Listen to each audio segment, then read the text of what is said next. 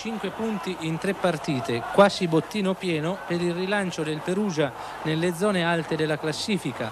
Oggi contro il Cagliari per la squadra Umbra, assenti Casarza e Nappi e con il debuttante De Gradi, 21 anni, ex cremonese, non ha segnato Paolo Rossi ma è tornato al gol Bagni.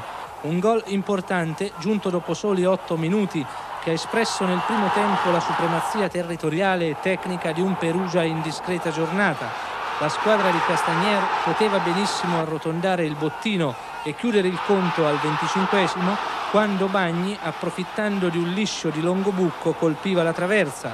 Tre minuti dopo Selvaggi sparava altissimo una combinazione dell'attacco cagliaritano. Perugia-Cagliari è stata anche la partita delle occasioni sprecate e dell'opportunismo di Rossi non compensato dai compagni con altrettanto senso dell'altruismo. La prima di queste occasioni è stata per Butti al 39esimo, comparata di Corti. Al 43esimo è Malizia a deviare in angolo una conclusione di Roffi.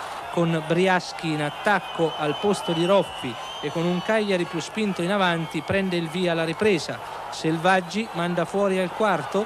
Un minuto dopo è Corti a deviare in angolo la conclusione di Dalfiume che al nono si mangia un gol così il Cagliari, apparso tutt'altro che in crisi atletica e di gioco, macina azioni ma rischia il contropiede umbro.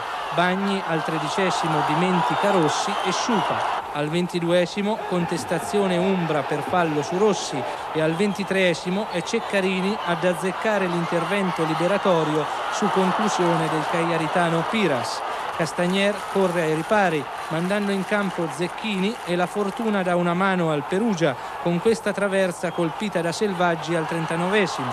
Il Perugia ringrazia e tanto per continuare supa ancora il gol a 4 minuti dalla fine con Butti, una vendetta dell'ex mancata per due volte.